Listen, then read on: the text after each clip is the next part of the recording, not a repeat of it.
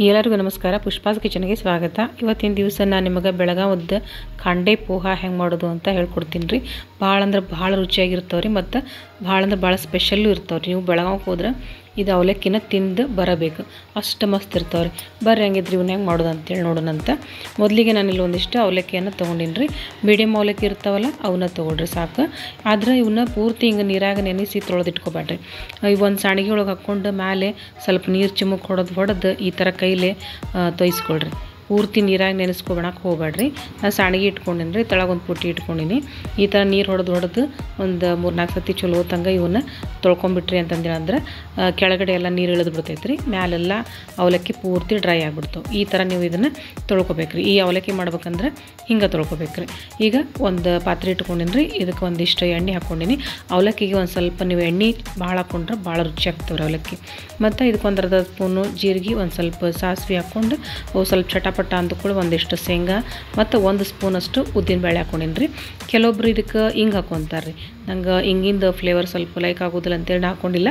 ನಿಮಗೆ ಇಷ್ಟ ಆದ್ರೆ ಹಿಂಗೆ ಕೂಡ ಹಾಕ್ಕೋಬೋದು ಒಂದು ಅರ್ಧ ಟೀ ಸ್ಪೂನಷ್ಟು ಹಿಂಗನ್ನು ಬೇಕು ಅಂದ್ರೆ ಹಾಕ್ಕೊಳ್ರಿ ಇದು ಶೇಂಗಾ ಚಲೋ ತಂಗ ಎಣ್ಣೆ ಒಳಗೆ ಕರಿಬೇಕು ರೀ ಕರೆದ್ಮೇಲೆ ಇಲ್ಲೇ ಒಂದು ನಾನು ಮೀಡಿಯಮ್ ಸೈಜಿದ್ದು ಒಂದು ಆಲೂಗಡ್ಡೆಯನ್ನು ತೊಗೊಂಡಿದ್ದೆ ರೀ ಅದ್ರ ಮ್ಯಾಗಿಂದೆಲ್ಲ ಸಿಪ್ಪಿ ತೆಗೆದು ಅದನ್ನು ಸಣ್ಣ ಪೀಸ್ ಕಟ್ ಮಾಡ್ಕೊಂಡು ಹಸಿದರಿ. ಕಟ್ ಮಾಡ್ಕೊಂಡು ಅದನ್ನ ಒಗ್ಗರಣೆ ಒಳಗೆ ಹಾಕೊತೀನಿ. ಇದು ಒಂದು ಐದು ನಿಮಿಷ ನೀವು ಮುಚ್ಚಿ ಬೇಯೋದಕ್ಕೆ ಬಿಟ್ಬಿಡ್ಬೇಕು. ಆಲೂಗಡ್ಡೆ ಒಂದು ಸ್ವಲ್ಪ ಎಣ್ಣೆ ಒಳಗೆ ಚಲೋ ತಂಗ ಬೇಯ್ಬೇಕ್ರಿ ಅದು. ನೋಡ್ರಿ, ಈಗ ಆಲೂಗಡ್ಡೆ ಚಲೋ ತಂಗ ಎಣ್ಣೆ ಒಳಗೆ ಬಂದೈತಿ. ಆಮೇಲೆ ಶೇಂಗಾನು ನೋಡ್ರಿ, ಕೆಂಪಗೆ ಕಲರ್ ಚಲೋ ಬಂದಾವು. ಇಷ್ಟು ಚಲೋ ತಂಗ ಆದ್ರೆ ಸಾಕು. ಮತ್ತು ಒಂದು ಏಳೆಂಟು ಹಸಿಮೆಣ್ಸಿಕಾಯಿ ಕಟ್ ಮಾಡಿ ಇಟ್ಕೊಂಡಿದ್ದೆ ರೀ. ಆ ಹಸಿಮೆಣ್ಸಿಕಾಯನ್ನು ನಾನು ಇದ್ರೊಳಗೆ ಹಾಕ್ಕೊಂಡಿ ಹಾಕ್ಕೊಂಡು ಇವು ಕೂಡ ಚಲೋ ತಂಗ ಎಣ್ಣೆ ಒಳಗೆ ಫ್ರೈ ಮಾಡಿಕೊಡ್ರಿ. ಆಮೇಲೆ ಒಂದು ಉಳ್ಳಾಗಡ್ಡಿನ ಸಣ್ಣ ಕಟ್ ಮಾಡಿ ಇಟ್ಕೊಂಡಿದ್ದೆ ರೀ ಅದನ್ನು ನಾನು ಇದ್ರೊಳಗೆ ಹಾಕ್ಕೊತೀನಿ ಅದನ್ನು ಚಲೋ ತಂಗ ಎಣ್ಣೆ ಒಳಗೆ ಫ್ರೈ ಮಾಡ್ಕೊಳ್ರಿ. ಉಳ್ಳಾಗಡ್ಡಿ ಸ್ವಲ್ಪ ಜಾಸ್ತಿನೇ ಹಾಕ್ಕೊಳ್ರಿ. ನಾ ಇಲ್ಲಿ ಅವಲಕ್ಕಿ ಸ್ವಲ್ಪ ಹಚ್ಕೊಳಕತ್ತೀನಿ ಅಂತೇಳಿ ಉಳ್ಳಾಗಡ್ಡಿ ಸ್ವಲ್ಪ ಹಾಕ್ಕೊಂಡಿನಿ. ನೀವು ಸ್ವಲ್ಪ ಜಾಸ್ತಿ ಪ್ರಮಾಣದೊಳಗೆ ಮಾಡ್ಕೊಳಕತ್ತಿದ್ರಿ ಅಂದ್ರೆ ಉಳ್ಳಾಗಡ್ಡಿ ಸ್ವಲ್ಪ ಜಾಸ್ತಿ ಹಾಕ್ಕೊಳ್ರಿ.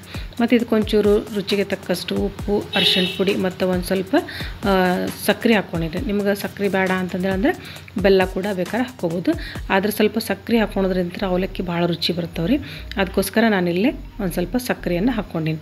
ಮತ್ತು ಆಗಲ್ಲೇ ತೊಯ್ಸಿಟ್ಕೊಂಡಿದ್ದೆಲ್ಲ, ಅವೆಲ್ಲ ಅವಲಕ್ಕಿನ ಇದ್ರೊಳಗೆ ಹಾಕ್ಕೊಂಡು ಎಲ್ಲನೂ ಚಲೋ ತಂಗ ಮಿಕ್ಸ್ ಮಾಡ್ಕೊಂಬಿಟ್ರಿ.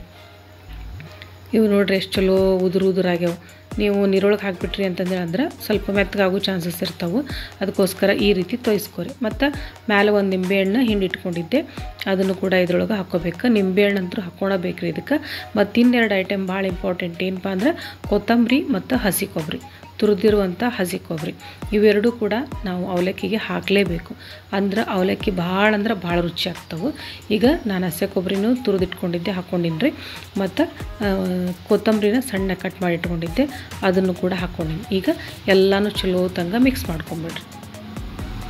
ಈ ಥರ ಎಲ್ಲ ಚಲೋ ತಂಗ ಮಿಕ್ಸ್ ಮಾಡ್ಕೊಂಬಿಟ್ರಿ ಅಂತಂದ್ರೆ ನಮ್ದು ಬೆಳಗಾವಿ ಖಾಂಡ ಪೋಹ ರೆಡಿ ಆಗ್ಯಾವ ನೋಡ್ರಿ.